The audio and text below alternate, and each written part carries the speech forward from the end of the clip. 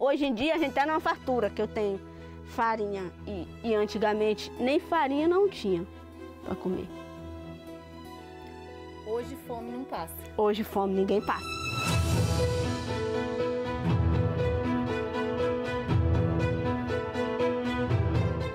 Eu compro o lanche deles.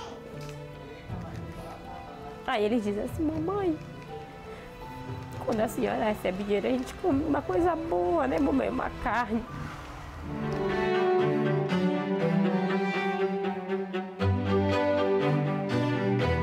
Isso aqui é a coisa ma- mais importante, assim, para mim. Hoje eu poder oferecer uma boa alimentação para ele.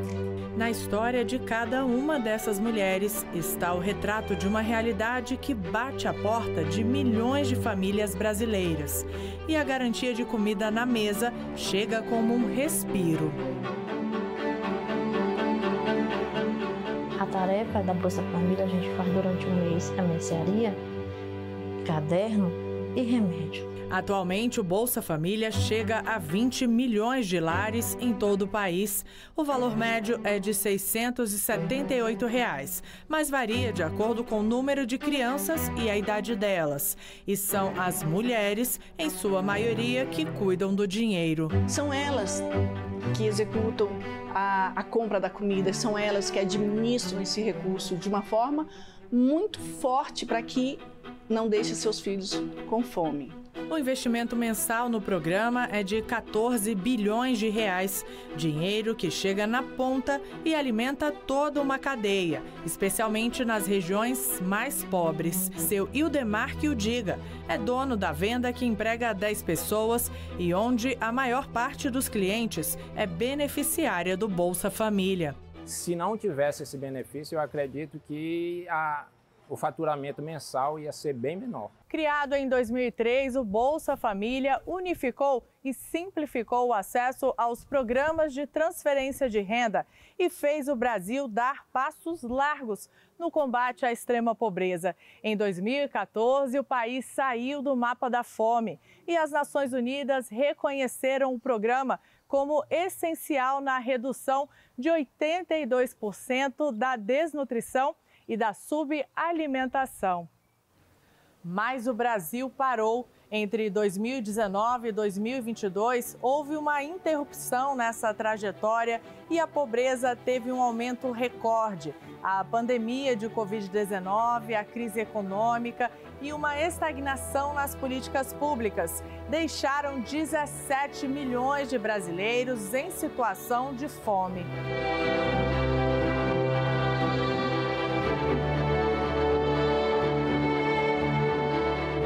Em 2023, ao assumir seu terceiro mandato, o presidente Lula reafirmou o compromisso de, mais uma vez, acabar com a fome no país. Assumimos hoje, diante de vocês e de todo o povo brasileiro, o compromisso de combater dia e noite todas as formas de desigualdade no nosso país. E um novo Bolsa Família foi lançado. Lares mais numerosos, com crianças, adolescentes e gestantes, recebem um benefício com valor maior. Em um ano, nós já tivemos um resultado muito forte. Nós temos uma, uma, uma, própria pesquisa da Fundação Maria Cecília Souto Vidigal que diz o seguinte, que em um ano do benefício, nós já melhoramos 81% sabe, da fome e da grande vulnerabilidade no nosso país. Resultados positivos que podem romper fronteiras.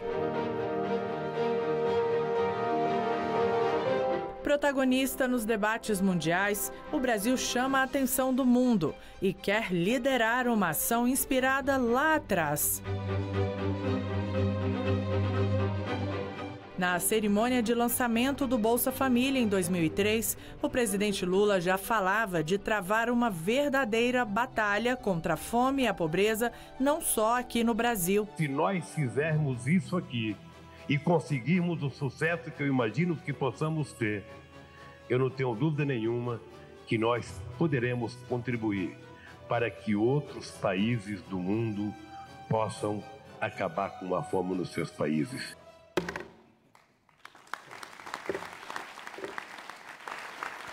Se quisermos fazer a diferença, Temos que colocar a redução das desigualdades no centro da agenda internacional. Precisamos redobrar os esforços para alcançar a meta de acabar com a fome no mundo até 2030. Caso contrário, estaremos diante do maior fracasso multilateral dos últimos anos. Na presidência do G20, o Brasil lidera essa mobilização inédita. A expectativa é que a Aliança Global contra a Fome e a Pobreza atraia adesões de países e una as nações em torno de um compromisso coletivo para que a erradicação da fome seja real e duradoura. O presidente conseguiu convencer o grupo dos países mais ricos do mundo, o G20, que na verdade são 21 países com a África do Sul, garantir prioridade para o combate à fome e à pobreza. Sim, nós temos hoje é, várias propostas que são referências. A transferência de renda, Bolsa Família, BPC, alimentação escolar, várias propostas que também se somam a experiências do mundo na cesta de projetos que vão fazer parte não é, das prioridades do G20. O objetivo da aliança é apoiar a implementação de ações de combate à fome e à pobreza pelo mundo a partir de três pilares. Primeiro, os países se comprometem a adotar e implementar políticas efetivas. Segundo, os mais ricos também devem compor um fundo para apoiar outros países em seus compromissos.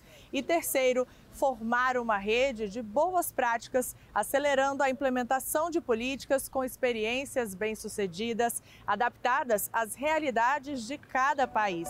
Experiências que o Brasil tem de sobra para compartilhar.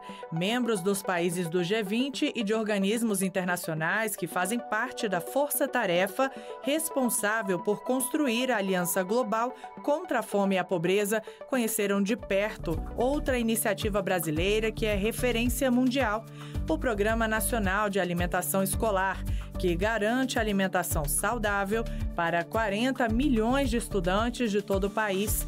Os alimentos são comprados da agricultura familiar através de outra ação, o PAA, o Programa de Aquisição de Alimentos.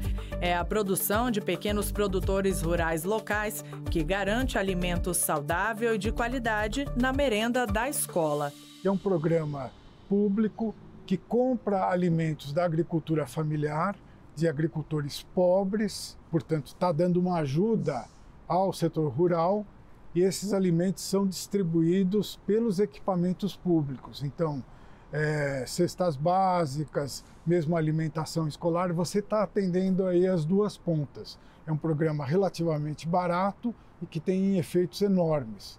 Esse programa vem sendo copiado em vários países do mundo. We're thinking about it uh, to have like a, um, a project that at the same time feeds uh, good food to children and um, helps local producers and and um, empowers women. Yeah, it's really a, like a good example to export. Com o programa a gente pode fazer muito mais. Uma das coisas é isso, né? O fato de sair né, da conta direto do governo para a conta do agricultor. A gente vê também que eles valorizam muito o nosso trabalho, né?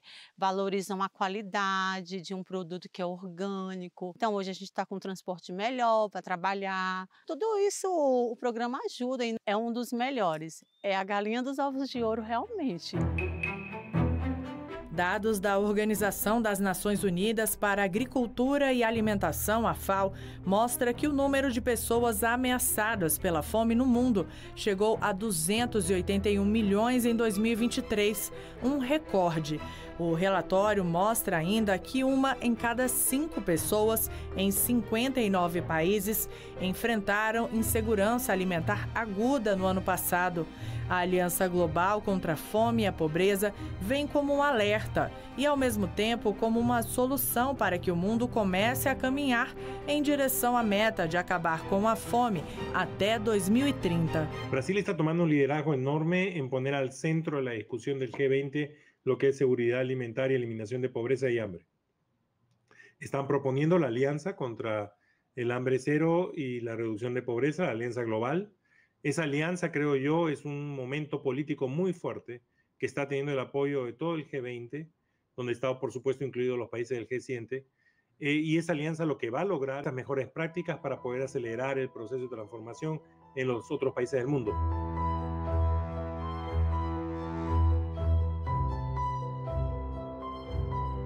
O presidente Lula, presidente do Brasil, ele viveu a fome, ele viveu a pobreza e superou. Ele assim tem compromisso para ajudar a outras pessoas do Brasil e do mundo a também superarem a fome e a pobreza. A fome, ela não é uma, uma coisa natural. A fome é uma coisa que exige decisão política. Nós, governantes, não podemos olhar o tempo inteiro só para quem está próximo de nós. É preciso que a gente consiga fazer uma radiografia e olhar aqueles que estão distantes, aqueles que não conseguem chegar perto dos palácios, aqueles que não conseguem chegar perto de ministros, aqueles que não conseguem chegar numa escola, aqueles que são vítimas de preconceito todo santo dia. Essa gente precisa ser olhada. E não é possível que na metade do século 21 quando a gente já está discutindo até inteligência artificial sem conseguir consumir a inteligência natural que todos nós temos, a gente ainda seja obrigado a fazer uma discussão dizendo para os nossos dirigentes políticos do mundo inteiro: por favor, olhe os pobres, porque eles são seres humanos, eles são gente e eles querem ter oportunidade.